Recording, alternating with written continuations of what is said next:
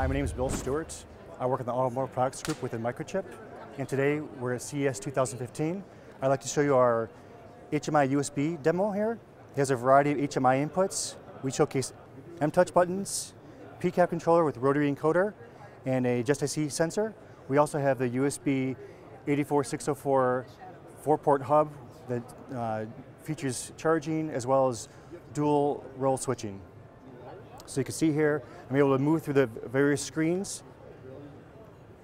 I'm able to adjust the, the volume with the AirWheel.